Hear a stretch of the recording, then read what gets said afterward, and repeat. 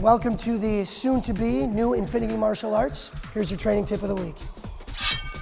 With the XMA camp right around the corner, we've been putting a lot of work into getting as many tricks down as we can and getting, getting conditioned so that we can get the most out of the camp.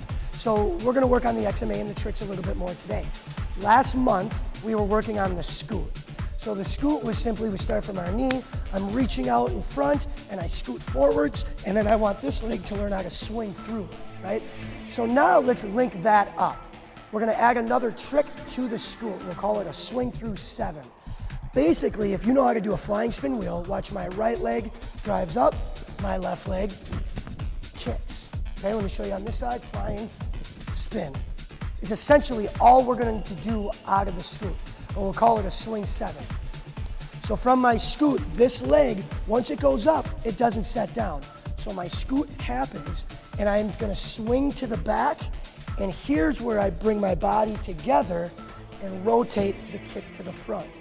So I'm flying a little bit more than I would, or I'm spinning a little bit more than I would on a flying spin wheel. Let me show you from this angle one time.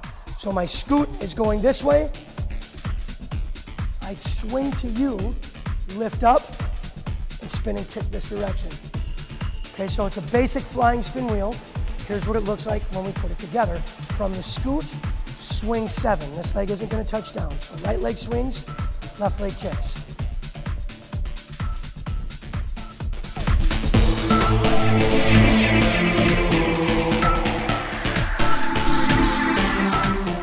There's scoot, swing seven. So if you can get that down, if you got the scoot already, which a lot of you, I know you do, now start putting this piece together. One more tiny tip. When you swing through, it's important to bring your feet together and your body in tight. That's gonna help you spin easier and always spot your target. So scoot, swing seven, give it a shot. I'll tell you what, anybody who gets this trick before XMA camp, I'll give you $10 in karate cash. There's your challenge.